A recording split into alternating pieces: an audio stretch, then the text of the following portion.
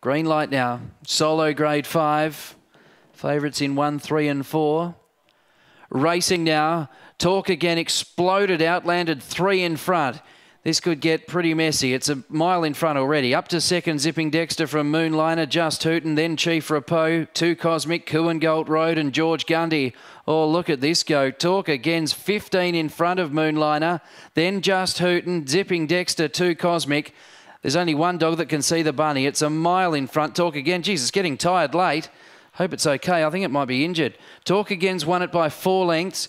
Now, uh, second home, Moonliner or Just Hooten. And then came Zipping Dexter. Well back Chief Rapo, Coolangault Road, Two Cosmic and George Gundy.